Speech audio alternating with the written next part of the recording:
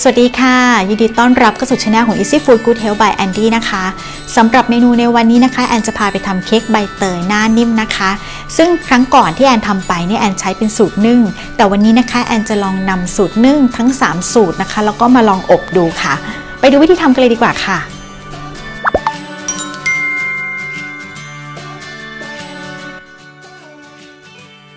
ค่ะเริ่มแรกนะคะให้เพื่อนๆนะคะนำใบเตยมาปั่นรวมกันกับน้ำเปล่านะคะจนละเอียดค่ะ จากนั้นก็นำมากรองให้เหลือแต่น้ำนะคะ แล้วก็นำมาเทใส่ชามผสมค่ะ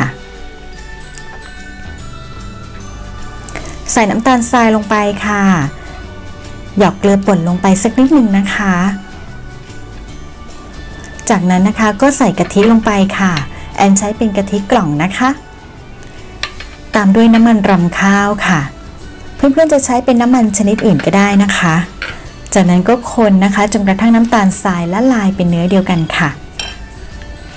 นำแป้งเค้กนะคะมาร่อนรวมกันกับผงฟู แล้วก็เบกกิ้งโซดานะคะร่อนรวมกันประมาณหนึ่งรอบพอค่ะ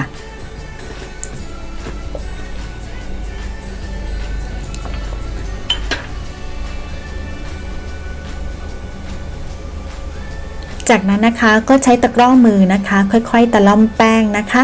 คนจนกระทั่งแป้งละลายเป็นเนื้อเดียวกันนะคะ แล้วก็นำมาตักใส่พิมพ์ค่ะ เวลาตักใส่พิมพ์นะคะ ก็ให้เหลือเนื้อที่ไว้ให้เขาขึ้นฟูนะคะ แล้วก็เผื่อเนื้อที่ไว้สำหรับใส่หน้านิ่มด้วยค่ะแอนใช้ไฟ 150 องศาเซลเซียสนะคะ ไฟบนล่างอบนานประมาณ 20-25 นาทีค่ะ จากนั้นก็มาเตรียมในส่วนของหน้านิ่มนะคะ ผสมน้ำดอกอัญชันนะคะ น้ำตาลทราย แล้วก็ใส่กะทิลงไปในหม้อผสมก่อนที่จะนำขึ้นตั้งไฟค่ะ ใส่แป้งข้าวโพดนะคะ หรือจะใช้แป้งกวนไส้แบบแอนก็ได้นะคะ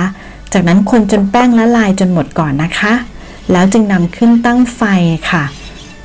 ใช้ไฟอ่อนในการคนแล้วก็คนตลอดเวลานะคะ จนกระทั่งส่วนผสมข้นประมาณนี้ค่ะ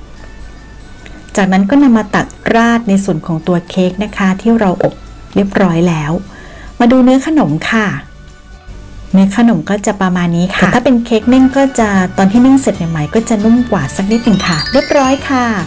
เค้กใบเตยหน้านิ่มนะคะ สูตรอบค่ะ ก็ฝากไว้นะคะ เป็นอีกหนึ่งไอเดียในการทำขนมนะคะ สำหรับวันนี้ลาไปก่อนค่ะ แล้วพบกันใหม่คลิปหน้า ขอบคุณนะคะสำหรับทุกๆการติดตามที่ติดตามแอนเข้ามาค่ะ วันนี้สวัสดีค่ะ บ๊ายบายค่ะ